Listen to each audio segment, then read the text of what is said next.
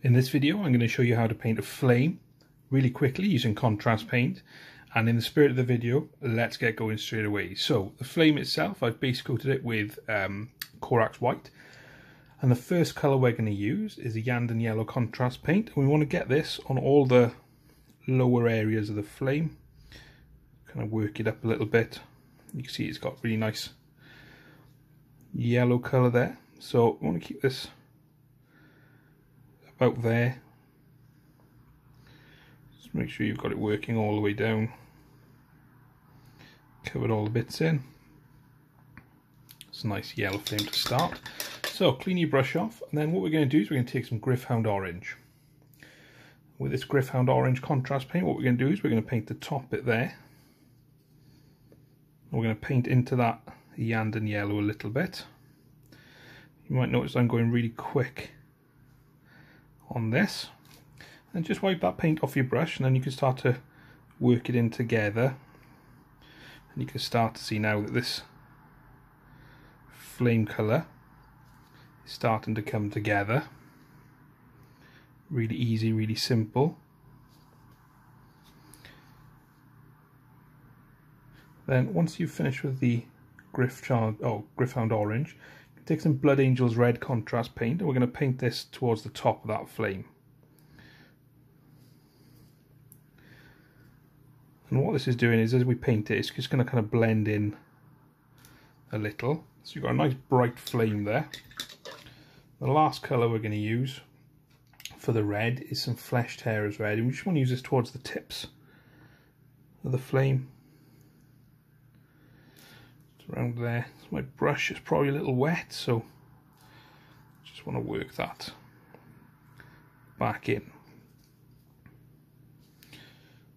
And then we're going to take some black Templar contrast and we're just going to pop that kind of right on the tips as the fire starts to smoke a little bit and kind of get away from from the brazier just like that so I'm going to let that take for a little bit and you can see that I've actually got a bit of a white streak down the middle of the flame there. So I'm just going to take some Iyanden yellow again. And the reason I've got that there is because my brush was too wet when I was actually applying the, the paint. So there we are, just move that round. We'll let that dry and then we'll come back and we'll see if we need to highlight it and tidy up any of the bits that we've already worked on. Once that's dry, it's looking pretty decent. It's not too bad. But what we want to do is maybe just add some highlights on it. Now, this part's totally optional. You don't have to do this. You can just leave it there if you're happy. But what I'm going to do is take some Flash Gitz Yellow. And I'm going to highlight kind of about halfway up the flame, just along some of the edges. Down towards the bottom where the flame will be hotter. So that's nice and simple, nice and easy. Just add some extra interest on there in terms of the kind of yellow colour. The next thing I'm going to do, after I've cleaned my brush off, is I'm going to take some Dorn Yellow. Um, and what I'm going to do is I'm going to do the same sort of thing, just kind of thinner lined really.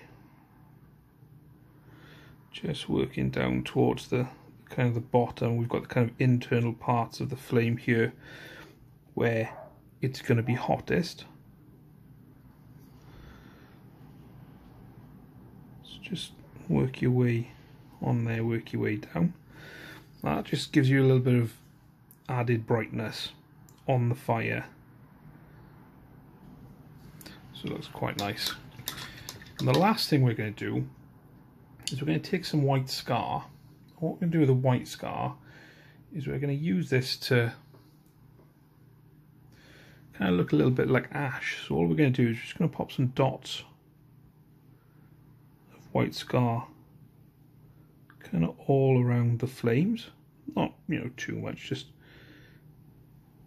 go with what works for you. And this is just to kind of represent little flecks of ash flicking up from underneath with the braziers burning. So there we are, I'm happy with that. It's a really straightforward, easy flame to paint. Really hope you've enjoyed the video. If you have, please leave a like and a comment down below. And also, don't forget to subscribe and hit that bell for notifications of all my newer videos. If you want to save 20% on your Warhammer, you can do using the link for Goblin Gaming at the bottom of the description. Thanks again for watching. I'll see you next time.